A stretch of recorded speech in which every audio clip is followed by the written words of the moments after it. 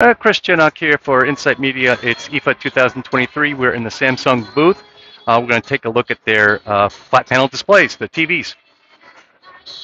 So, of course, they're showing uh, the Neo QLED uh, displays here. Uh, what we're looking at here is their new 98-inch 4K TV. this is, I guess, officially released here at, at IFA. it joins an, an 8K model that's, that's already in production. Uh, it's looking very nice, of course. Um, and they are, uh, one of the things they're actually highlighting uh, as we look at this graphic here is, is their um, uh, AI upscaling. Now, they're high, they call it uh, 8K AI upscaling, but it applies uh, also to their 4K, some of their 4K TVs as well.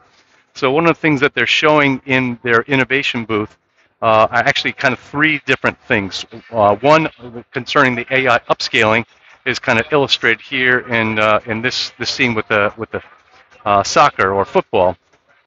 Uh, so grass is traditionally very difficult to upscale. Uh, so they have their neural network can identify the grass and will apply a different upscaling algorithm to add the detail to the grass than as opposed to something else like faces. Um, they also have a, they can identify text uh, in a graphic and will apply different upscaling uh, to that as well. They'll eliminate some of the ringing that you often will see with uh, with text. Uh, they were also showing uh, a motion judder, uh, a judder example.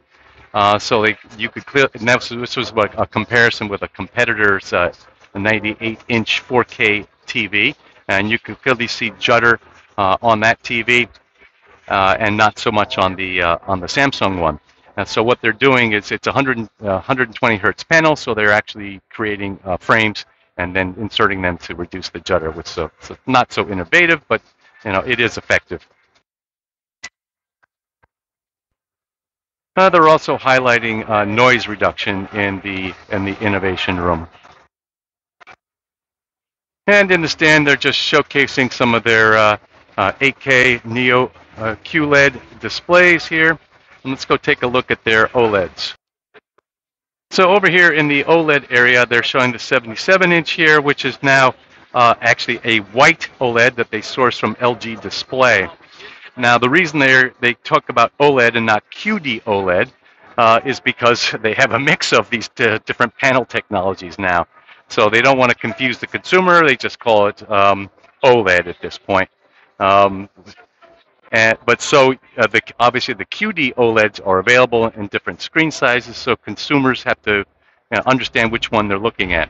So speaking of uh, wide color gamuts and QD OLED, one of the demos that's done in the innovation room uh, is uh, some work by Florian Friedrich, where he has content uh, that uh, shows the some colors that are outside of the DCI P3 color gamut.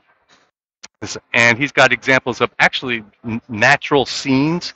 Uh, for example, some uh, some waves and ocean, as well as sky has some components in the cyan uh, that are outside of, of P3.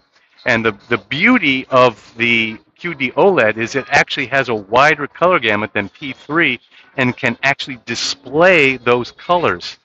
Um, and in fact, it actually has a wider color gamut in the red uh, than the Sony um, X310 reference monitor.